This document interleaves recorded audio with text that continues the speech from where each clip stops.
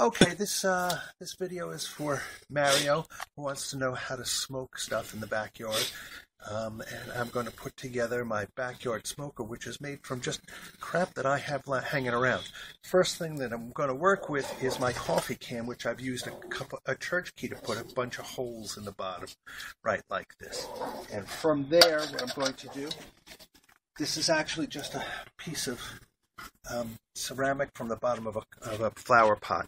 Doesn't really matter, but I just put that to protect the ground. You're probably going to want that because the bottom of this gets pretty damn hot. And from there. Hold it. Stop.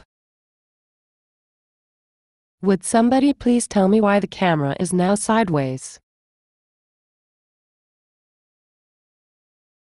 Is this whole video going to be so amateur? I hope not. Okay. Resume. The next few things that we're going to do is we're going to build a fire in here.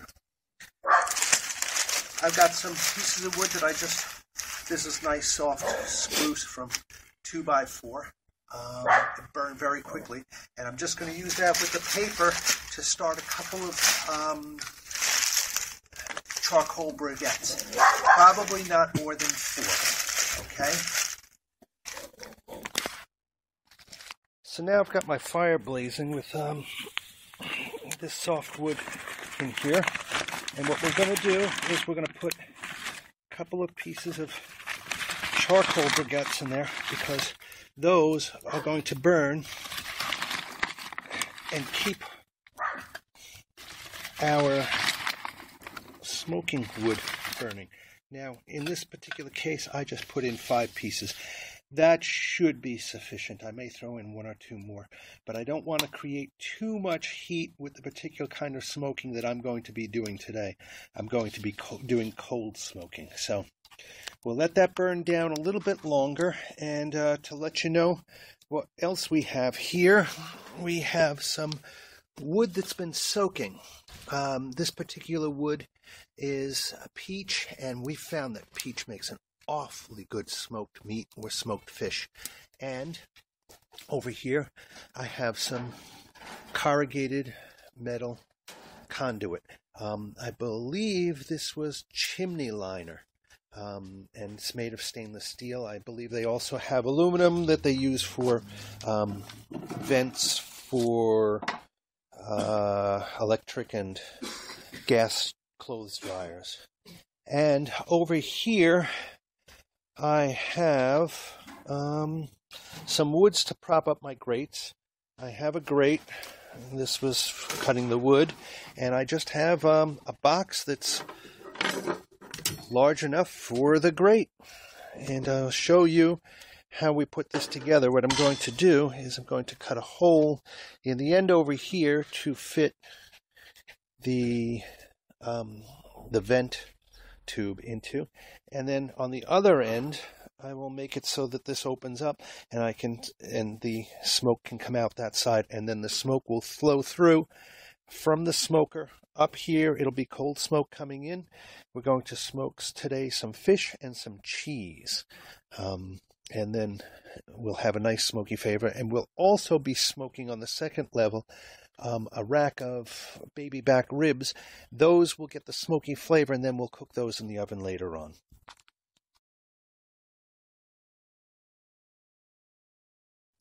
So now I've got my fire blazing with um, this soft wood in here. And what we're going to do is we're going to put a couple of pieces of charcoal briquettes in there because those are going to burn and keep our smoking wood burning. Now, in this particular case, I just put in five pieces. That should be sufficient. I may throw in one or two more, but I don't want to create too much heat with the particular kind of smoking that I'm going to be doing today. I'm going to be co- doing cold smoking. So we'll let that burn down a little bit longer. And uh, to let you know what else we have here, we have some wood that's been soaking. Um, this particular wood is a peach, and we found that peach makes an awfully good smoked meat or smoked fish.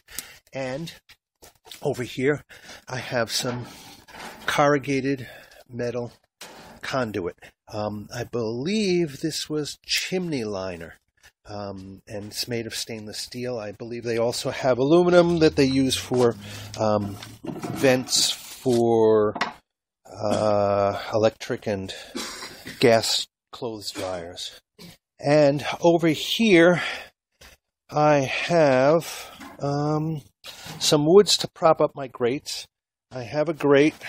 This was cutting the wood, and I just have um, a box that's large enough for the grate.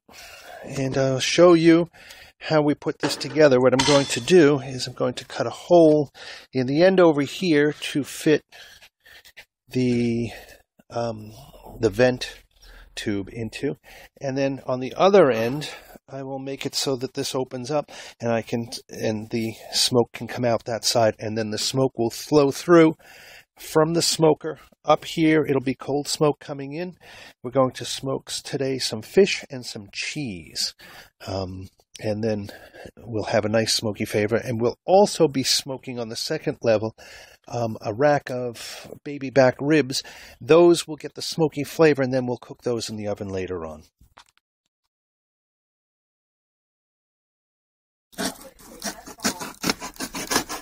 I'm not. I'm filming Mark. I promise you. I swear to God.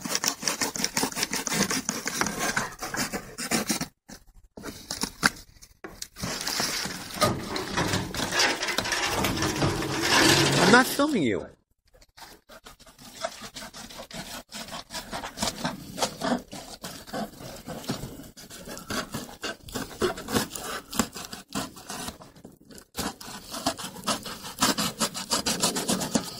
This is where we cut out for the conduit to bring the smoke right into our smoke box.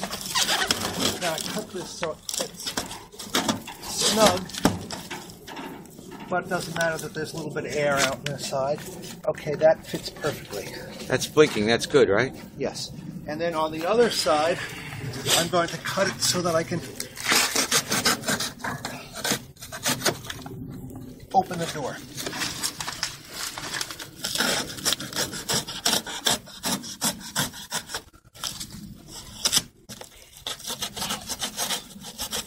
Notice the door's not at the bottom, not at the not at, top, at the bottom, not the top, Yes.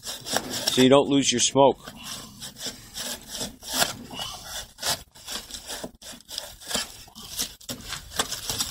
And there we go. We'll be able to access everything inside the smoker. Off, and I will retape the door at the top.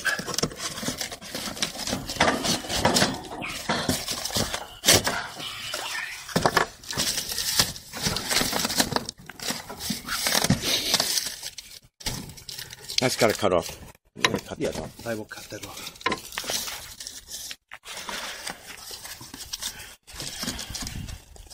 It Will work perfectly.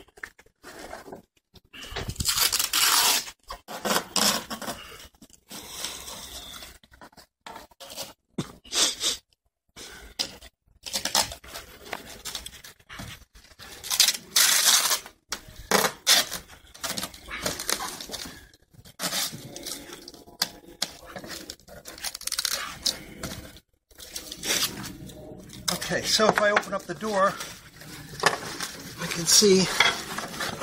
Oh, you know what? Let me cut that flap on the other end so that it's out of the way, and I'll be able to stick my grates in there and smoke my meats.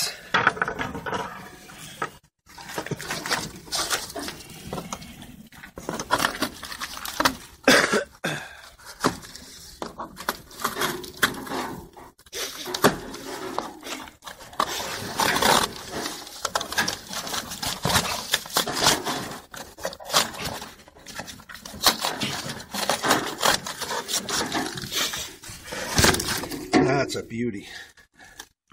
Nothing like precision work.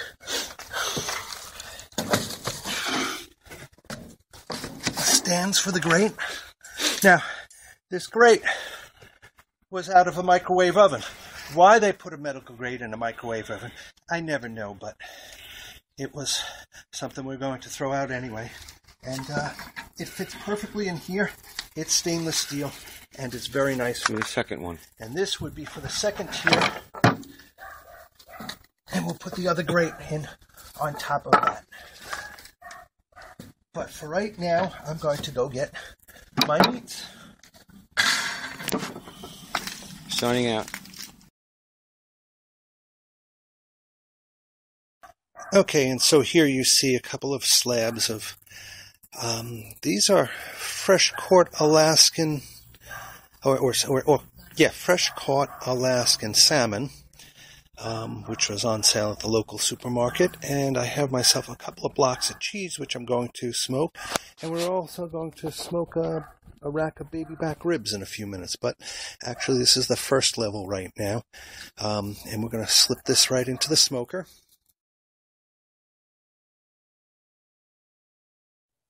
So we here we have the second tier. This grate is actually out of a barbecue. Um, we cleaned it up before we're using it, um, and we have here, uh, like I said before, two racks of baby rib back back ribs. Those are pork ribs, and we have five blocks of cheese. Oh, look at that! Absorbed into the meat as a marinade. And, And for cheeses, we have oh, and then this is Andy's gourmet blackening spice that he's sprinkling on now. And for the cheeses, we have two blocks of yellow, sharp New York State cheddar cheese, two blocks of white New York State extra sharp cheddar cheese, and a block of pepper jack. And um, we're going to smoke those too because uh, smoked cheese just happens to turn out awesome. Okay. I'm going to slip this into our box smoker, and um, as soon as we do that, we are going to take our metal conduit, run it over here to our can where the charcoals are glowing nice and hot. And when we do that, we're going to put a couple of sticks of um, peach wood that has been soaking so it's nice and wet and it's going to smoke, not burn. And then we're going to put the conduit right on top. So we've got everything loaded in. We've got two layers. The cheese is right there. You can see that the salmon is on the lower layer. I'm just going to close it up.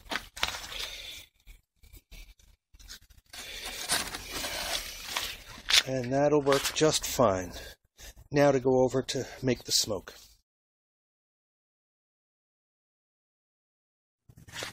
You can see here now that smoke is starting to rise out of this the smoke source. It's going right up through the conduit. One of the things that I had to do just a moment ago is I had to blow the accumulated ash out of the the breather holes at the bottom of my coffee can. Um, that was keeping um, the oxygen and the air from coming up and circulating through. And if you take a look now, we follow the conduit right along, and you'll see that we have tons of smoke coming out of the smoker now. And um, what I will probably do later on is add more wood to the smoker after that wood burns down. Um, but I'm going to have to adjust for how smoky you like your food to be. So you may just want to do one one set of wood chips, or you may want to do two. For something extremely smoky, you might want to do three, but you can go too far with that. So now my cheeses are out. They're in plastic bags. And I have the fish all put into plastic freezer bags. What I'm going to do in a moment is I'm going to I'm going to brine them. And that's what I've been working with is two parts salt, one part sugar for brine. I'm going to mix it up dry and I'm going to sprinkle it on top of the fish in the bags and then seal them up and put them into the refrigerator for 2 days. Hold it again. Now the whole screen is upside down. It is making me dizzy. I hope this scene is over soon before I hurl the groceries. Let's wrap this up, guys. So here, I've got the fish.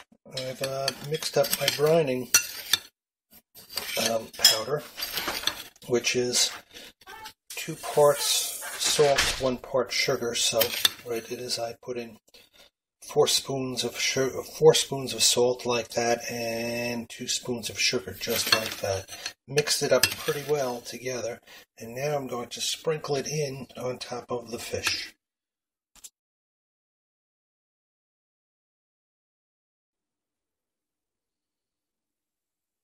Okay, so there we have the four slabs of fish. Before this was three, one was a long one, but I cut that up to fit it into the one gallon freezer bags. Now I've put them into freezer bags and I've put the salt on them and I've sucked out the air that was remaining in them. And what I'm going to do is put them into a refrigerator, but I find that it's best to put them onto um, a platter before putting them into the refrigerator or a, tan- a a dish of some sort because in case they leak, you do not want fish juice, brined or otherwise, leaking all over your refrigerator.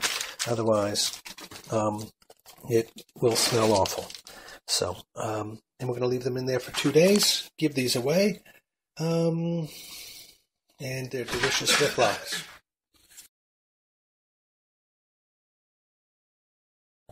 In case anybody was wondering how we were finishing off those ribs, it's caveman style, right on the grill.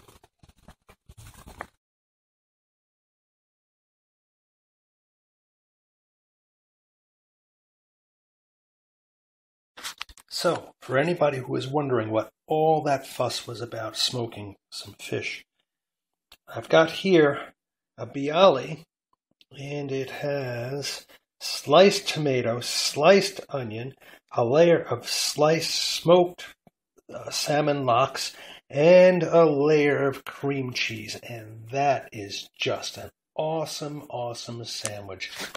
Um, if you get used to them, you've ever tried one, you know what I mean.